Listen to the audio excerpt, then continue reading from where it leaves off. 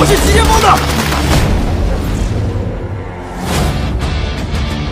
我是一名安保人员，同时又是一名退伍的军人。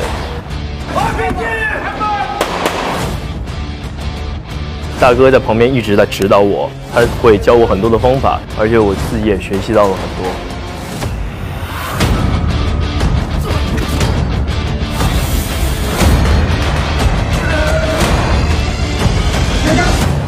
啊！